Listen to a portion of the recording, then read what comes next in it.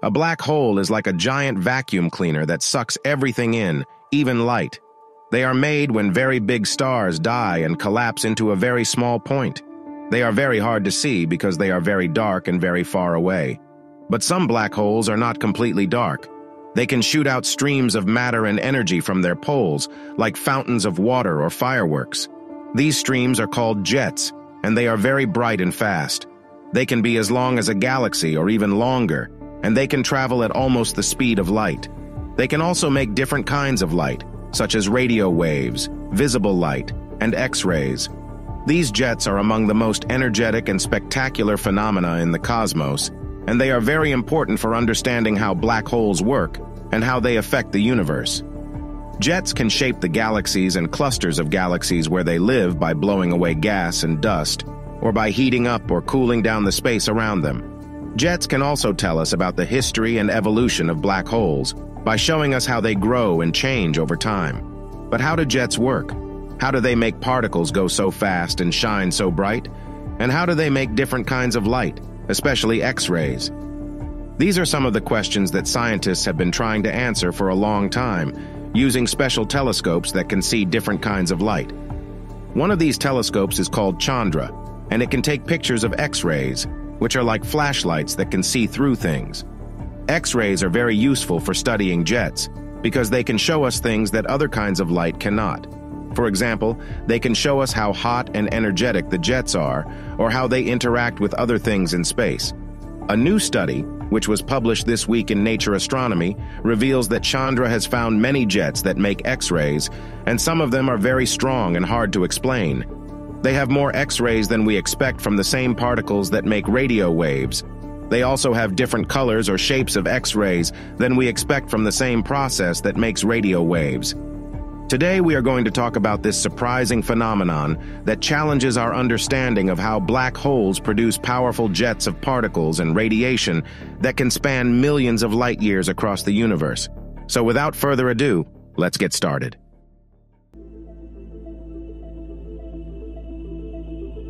The most common idea for how jets make X-rays is called the ICCMB model. This idea says that the jets are very fast and point towards us, and that they hit a very old and cold light that fills the universe. This light is called the cosmic microwave background, or CMB for short, and it is like a faint whisper from the beginning of time. The CMB light was created when the universe was very young and hot, about 13 billion years ago.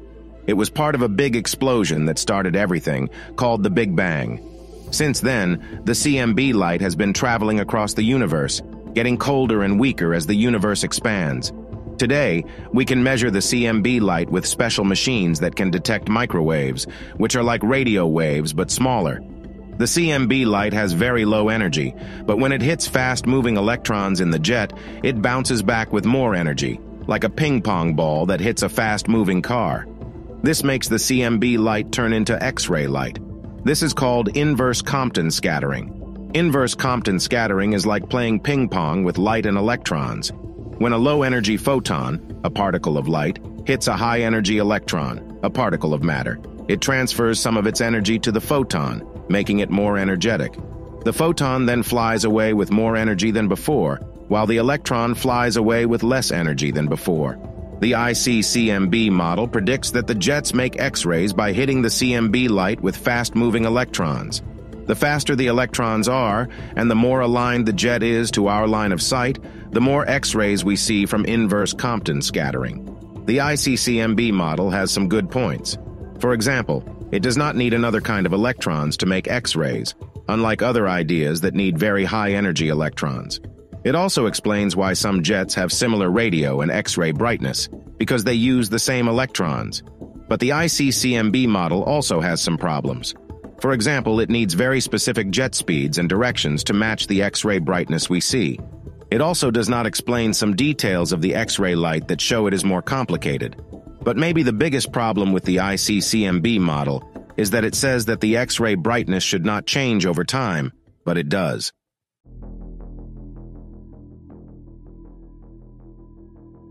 The new study used a clever way to look for changes in the X-ray brightness of 53 jets, with many pictures taken by Chandra over time. The study looked at 155 parts of these jets, from very close to very far from the black hole. The study counted how many X-ray flashes were seen in each part in different pictures, and calculated how likely it was that these changes were random or due to errors. This likelihood is called the p-value, and the lower it is, the more likely it is that the part is changing. The p-value is like a coin toss. If you toss a coin many times, you expect to get heads or tails about half of the time. But sometimes you can get more heads or more tails by chance. The study found that the p-values for all the parts were not random, but showed real changes in X-ray brightness. The study also found that 23 parts in 14 jets had very low p-values below 0.05, which means they are very likely changing. These parts change their X-ray brightness by 2 to 10 times on timescales of months to years. The study also checked if the changes could be due to changes in the jet speed or direction, which would affect how we see the ICCMB light. But they found no evidence for such changes, and they said they would be very rare and weird for them to happen so often and so far from the black hole. So they said that the changes were due to something else in the jet. Can you guess why variability is bad news for the ICCMB model? It means that the electrons in the jet are changing their energy too quickly for inverse Compton scattering to work. Remember that inverse Compton scattering needs low-energy electrons to make X-rays from the CMB light. But if the electrons change their energy too quickly, they will not have enough time to hit enough CMB photons to make enough X-rays. So if we see variability in X-rays, it means that inverse Compton scattering is not working well, and we need another idea to explain how jets make X-rays.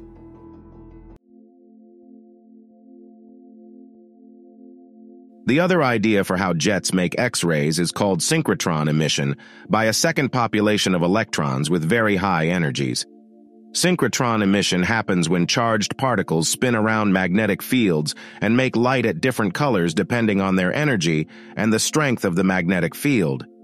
Synchrotron emission is like an electric guitar that makes sound when its strings vibrate around magnets, or a bicycle wheel that makes sparks when it spins around metal. The synchrotron idea says that the jets make X-rays by spinning very high-energy electrons around magnetic fields, these electrons are different from the ones that make radio waves, which have lower energies. The synchrotron idea also says that these electrons can change their energy quickly by losing or gaining energy from other things in the jet, such as shocks or turbulence.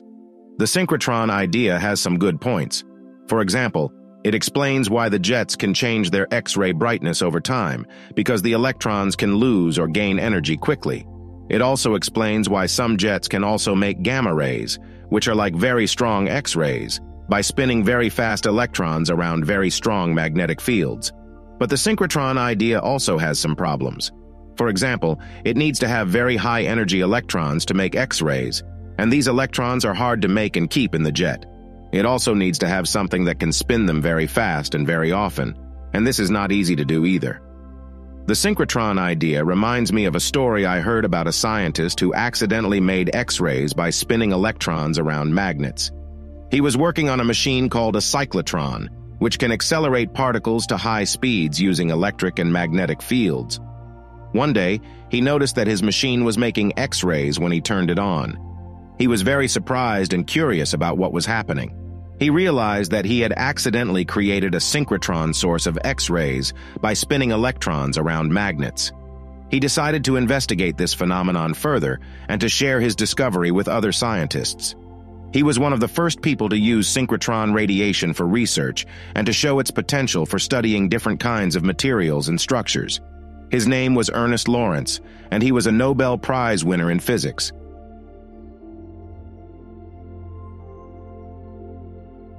In conclusion, this new study challenges one of the most common ideas for how jets make X-rays and opens new possibilities for exploring how particle acceleration works in these jets, and possibly also elsewhere in the universe. Particle acceleration is a very important process in physics and astronomy because it can produce very high-energy particles and radiation that we can observe and study. It can also tell us about the extreme conditions and forces that exist in space. Thank you for watching this video. If you liked it, please give it a thumbs up and subscribe to the channel for more content like this. And if you have any questions or comments, please leave them below. and I will try to answer them. Until next time, keep looking up and stay curious.